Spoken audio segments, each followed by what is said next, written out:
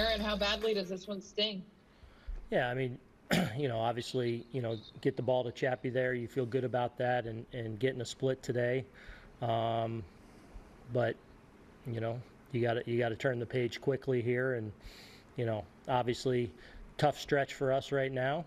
Um, you know, some good things are happening. Uh, another good job by um, Lowe and and and Otto and Nelson to get and and Cessa there uh, to get through the middle of their order there and, and get the ball to Chappie. Uh, we just got to start finishing some games off now.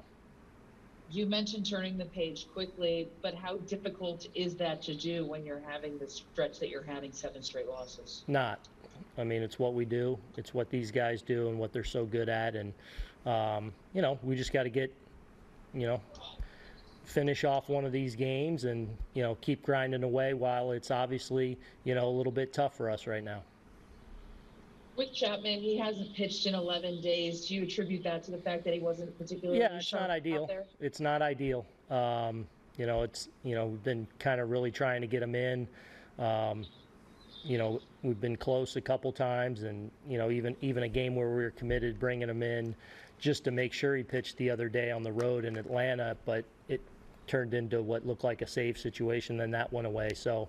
Um, yeah, I mean, you know, obviously with his season starting a little bit slow and now not getting the, the that regular work, um, you know, hopefully we can start getting in that position more often and things will get a little more regular for him.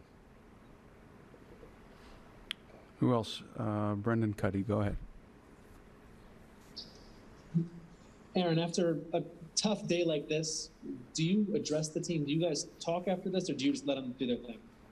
Um, I mean, nothing that nothing as a group or anything. You know, we talk to guys and uh, you know just try as best we can to get them prepared to, and ready to go tomorrow.